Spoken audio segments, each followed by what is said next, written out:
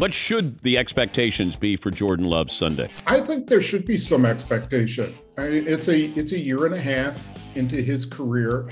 He's a first round pick. This is exactly his moment, I think. And he's got to step up and be be that guy. And at least, I mean, he doesn't have to beat the Chiefs, but he's got to play competitively.